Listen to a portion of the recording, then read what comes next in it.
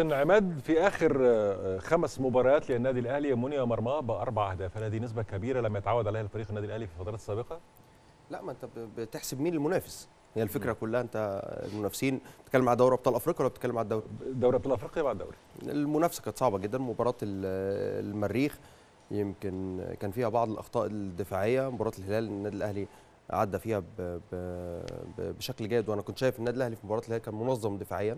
مم. كان الخطوط شوية قريبة من بعض. يمكن كانت المشكلة الأكبر في الناحية الهجومية. النادي الأهلي وصل أكتر من مرة. في الشوط الثاني أنا كنت مستغرب من الطريقة ومن الشكل اللي كان المهاجمين بيتعاملوا بيه مع الفرص. مم. فضلوا مخلين المباراة متعلقة لنهاية المباراة. مع إن جات لي الفرصة في الشوط الثاني إن أنا ممكن أسجل الثاني والثالث والرابع. يعني كان المباراة مفتوحة بشكل كبير جدا. هي النقطة إن آه، الناحية الهجومية بالنسبة للنادي الأهلي مطالب إنه كل ما تجيلي فرصة إن أنا أزود الأهداف أقدر أزود لكن من الناحية الدفاعية أنا وجهة نظري مباراة الهلال النادي الأهلي عمل مباراة آه، تكتيكيا مسك نص الملعب بشكل جيد جدا كان مقفل بشكل جيد جدا. مباراة الهلال ما كانش فيه أي خطورة على النادي الأهلي.